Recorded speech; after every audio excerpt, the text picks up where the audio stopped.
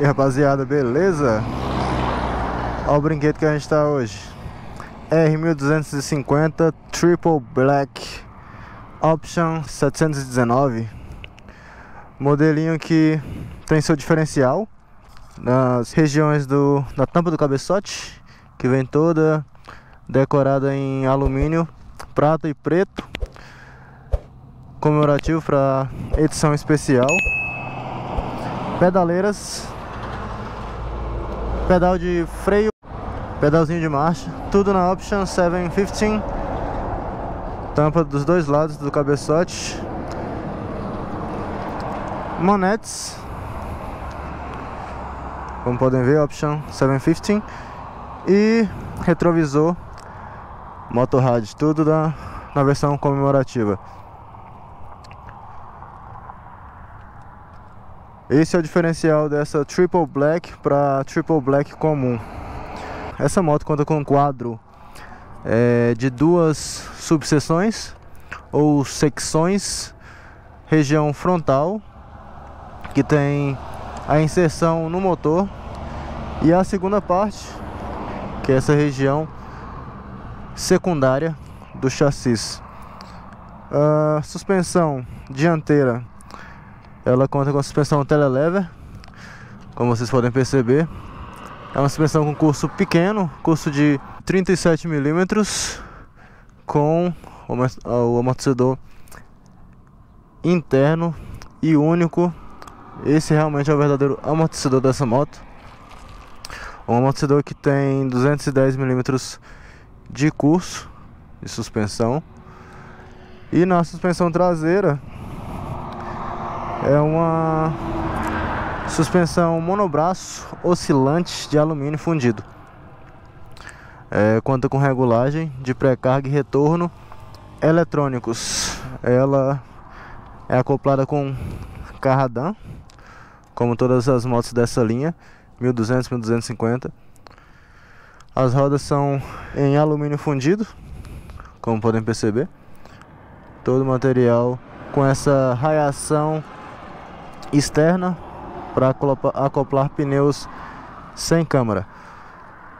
O pneu dianteiro dela é um pneu 120 70 aro 19 e o pneu traseiro é um pneu 170 60 aro 17. É um pneuzinho bem largo para conseguir segurar e aguentar esse peso, precisa ser um pneuzinho bem robusto. Os freios dessa moto, como vocês podem perceber, marquinha renomada em freios de qualidade, marquinha Brembo. É, o freio dianteiro é um freio de dois discos flutuantes e são quatro pistões totais no, nos burrinhos de freios dianteiros. Freio traseiro disco simples de 276 milímetros e pinça flutuante de pistão duplo. Como podem ver, pistãozinho duplo. E só para recapitular, disco dianteiro tem 305 milímetros de diâmetro. Ela conta com ABS Motorrad integral, é um, um ABS inteligente que é tanto eficiente em você frenar nas retas quanto em curvas, não é aquele ABS que você frear, a moto vai te jogar de lado. Ele vai fazendo a leitura do terreno. Agora as dimensões dessa moto, em altura até o banco, na versão básica, ela mede 890 milímetros e na versão exclusiva é 910 milímetros de altura em relação ao solo. Distância entre eixos de 1504 milímetros dessa ponta até essa ponta aqui. E uma distância total da parte mais distante da traseira da moto quanto a parte frontal da moto. Mede 2.270 milímetros totais. A largura é uma moto com 980 milímetros de largura e a altura até essa região, sem contar a parte dos retrovisores, é de 1504 milímetros.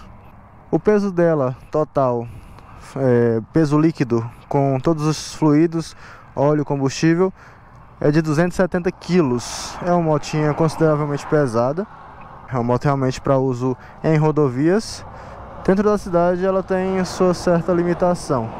A carga máxima suportada por ela, incluindo todos os acessórios, é de 215 quilos totais.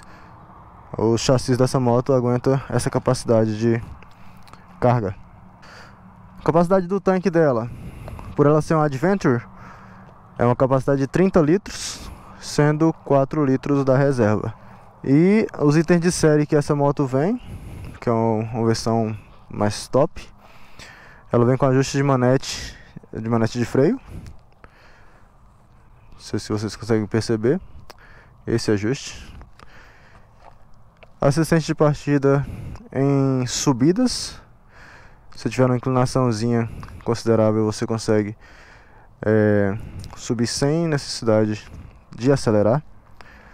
O banco bipartido, que com essa elevação aqui dá um conforto maior para o garupa.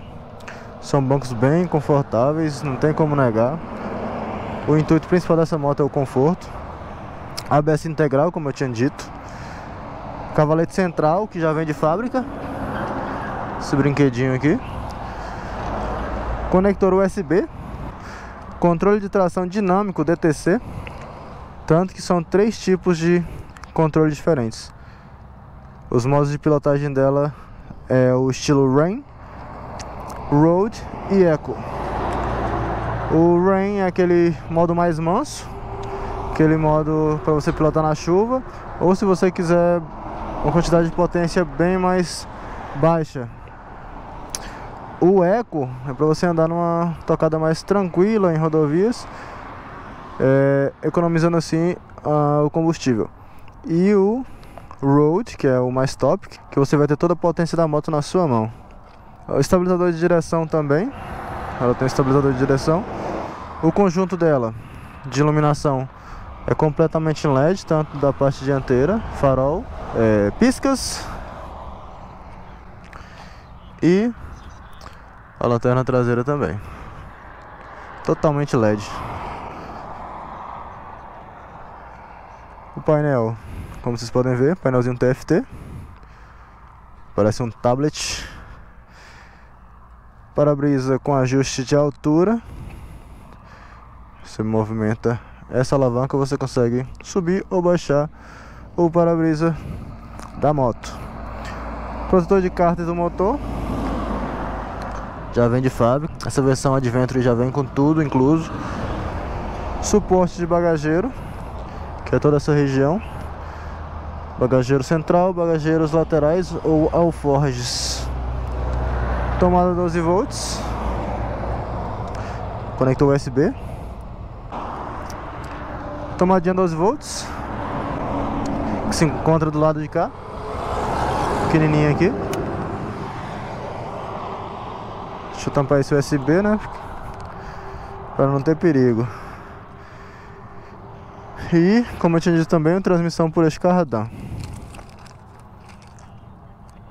Agora vamos, vamos falar do coração da máquina, né? A parte não menos importante e uma das mais interessantes é o motor boxer bicilíndrico de quatro tempos, refrigeração a ar e líquido. O motorzinho tem uma refrigeração muito eficiente. É, são oito válvulas totais e sistema variável de distribuição Shift Cam, diâmetro e curso desse pistão e cilindro são 102,5 milímetros de espessura do pistão e 76 milímetros de onde ele percorre, cada um deles, né? As cilindradas ou capacidade cúbica desse motor é de 1.254 centímetros cúbicos Potência máxima de 136 cavalos. Que tal? Será se rende ou não? E torque máximo, não menos importante, é de 14.3 cavalos. Não sei se vocês lembram, Mas a R1200 GS tem um torque de 12.7. Essa tem um torque de 14.3, já é um ganho muito considerável. A taxa de compressão dela é de 12,5 por 1, é uma taxa de compressão bem alta. Não era de esperar menos do motor nessa capacidade. Alimentado por injeção eletrônica. Ela também conta com controle de emissão de gases, conversor catalítico de três vias, compatível com as normas do Euro 4. Beleza? E as cores desse ano, 2023, é preto com chumbo, no caso esta, Triple Black. Tem a Rally, que é a branco, vermelho e azul. E a Gravity Blue Metallic. Eu vou estar colocando a foto de todas as motos aí, todos os modelos na para vocês darem uma analisada. Beleza? E nada menos importante que os valores. Essa moto está avaliada em 116.500 reais as versões mais simples e as versões mais tops 131.500 reais. Então, rapaziada, vamos lá pro teste na prática. Então vamos lá, rapaziada, aquele testezinho na prática que não pode faltar. Bora ver a apresentação desse painelzinho maravilhoso. Jess.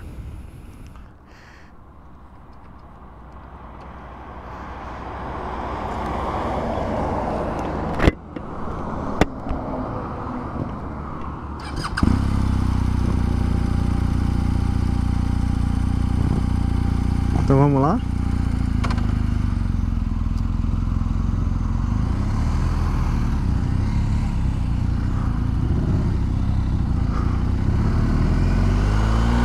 Ele Para dar uma aceleradinha mais tranquilo.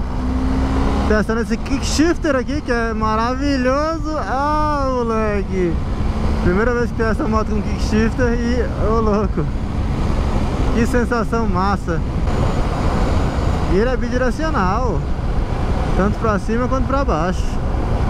Vou só ajeitar esse retrovisor aqui.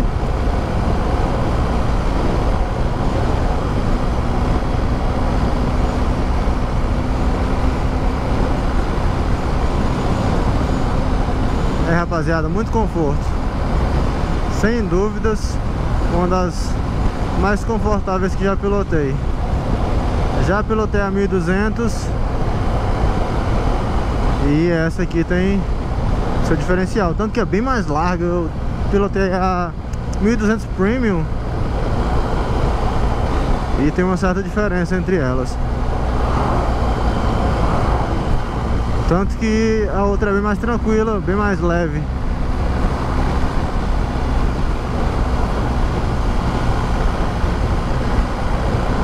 Vou tentar acelerar na volta.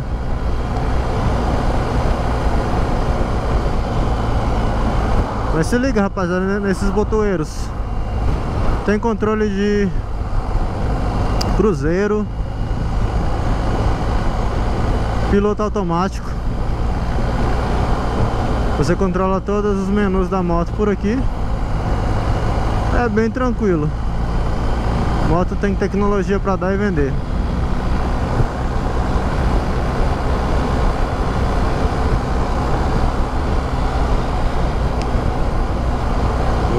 Encostar aqui e fazer o retorno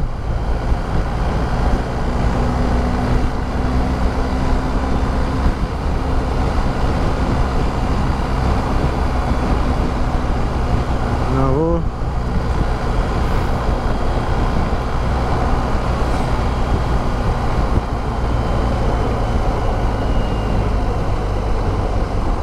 Agora vamos acelerar Vamos do que, que essa moto é capaz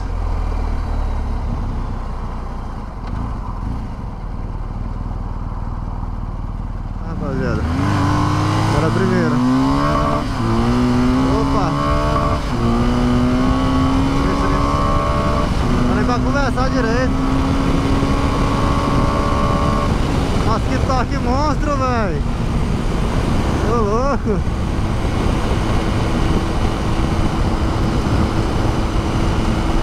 Nossa, um canhãozão. Não dá nem pra dar top speed aqui porque tá muito movimentado. Esperar aparecer uma... Agora dá pra, pra passar. O banco tá esquentando, velho. Acho que ele deixou ligado.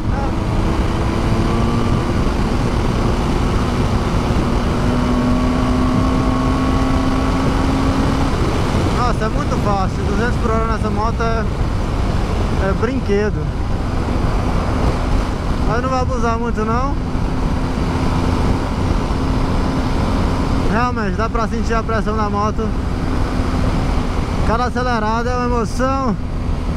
E é porque é pesada. Imagina um motor desse se fosse uma moto mais leve. Ela tá com os controles de tração ligado Então não vai dar pra extrair toda a potência da moto na mão.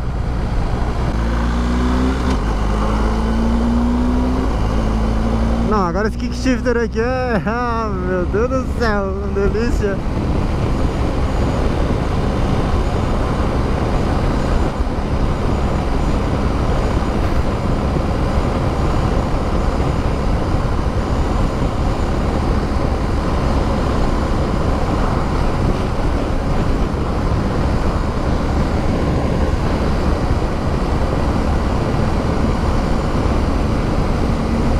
aceleradinha aqui, né?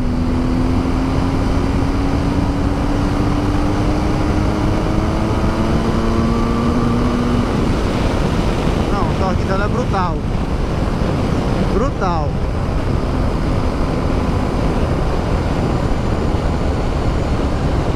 A 1200 tinha sido a mais forte em torque que eu tinha pilotado Mas essa aqui supera Tanto nos números quanto na prática, né?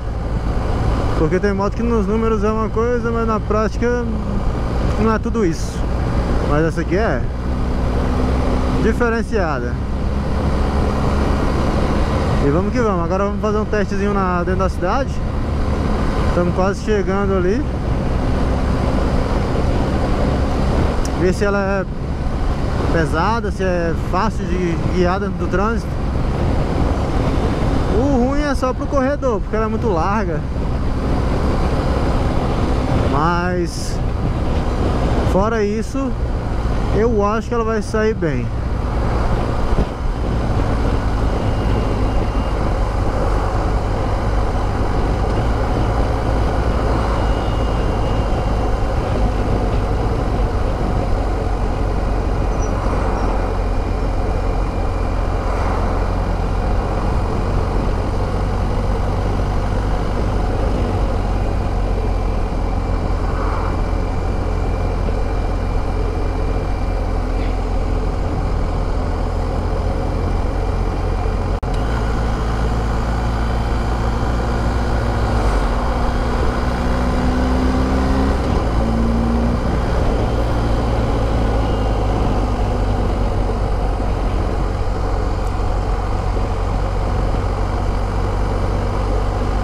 Então rapaziada, coloquem aí nos comentários o que, que vocês acharam da moto, o que, que vocês estão achando É uma moto que vocês teriam?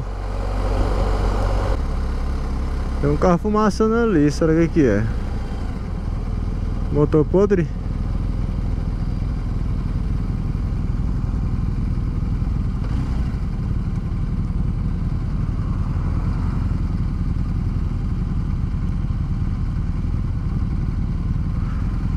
Vamos né? O trânsito aqui deu uma parada.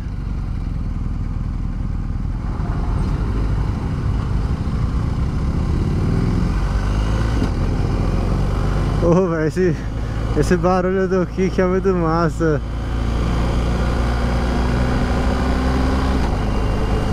Dá uma embolada